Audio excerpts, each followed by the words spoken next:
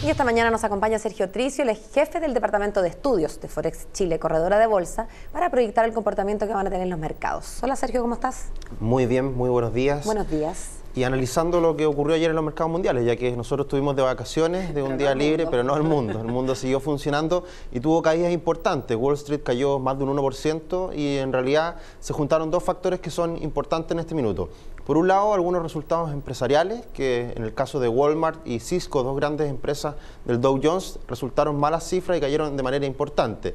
Pero lo más relevante y lo que sigue en la discusión es el tema de las cifras eh, de empleo, particularmente en Estados Unidos, y esta eh, disminución en las compras mensuales de parte de la Fed.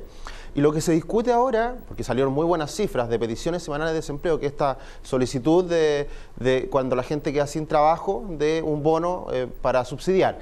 Y en este caso alcanzó un mínimo de octubre del 2007 y lo importante es el hecho de que ya no se piensa si van a retirar o no los estímulos, que eso al parecer ya es algo definitivo a partir de septiembre, sino que en cuanto comenzarán a disminuir las compras de bonos.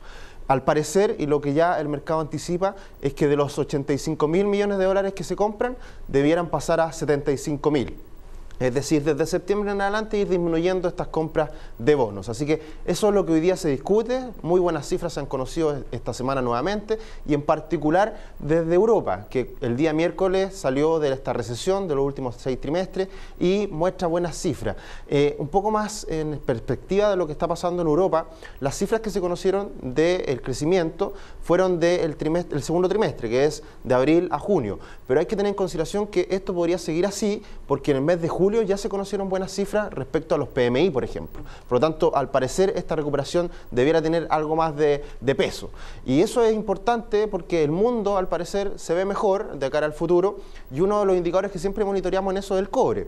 Hace algunas semanas atrás miramos que está en 3 dólares, estábamos temerosos de que cayera de ese, de ese piso y ya subió más de un 10%. Está hoy en día, de hecho, subiendo en el día un 0,7% en 3,36. Así que este rebote que se ha visto las últimas semanas en los commodities pasa por China, pasa por Europa, pasa porque el mundo está algo mejor. Y si bien ayer vimos caídas en los mercados, al parecer esto es solamente el reacomodo dentro de un escenario que se ve más positivo de cara al futuro. Así que con esta recuperación del cobre, con este ánimo que se ha visto esta semana, lo más probable es que hoy día el dólar vuelva a caer. Eso es un poco lo que debiera eh, transmitir hoy día el dólar respecto a lo que pasó ayer en el mundo y volver a niveles de 500 pesos aproximadamente, que es la zona en la cual se va a seguir moviendo. Entre 500 520 es el escenario más probable para el dólar en las próximas semanas. Así que en general hemos visto un día ayer muy eh, negativo, pero una semana que al parecer muestra una cuota de optimismo principalmente en Europa, que las cosas ahí por lo menos en términos marginales han, recuperado un poco de, bueno en el último tiempo. Casi pura buena noticia que me perdonen los exportadores nomás, que el dólar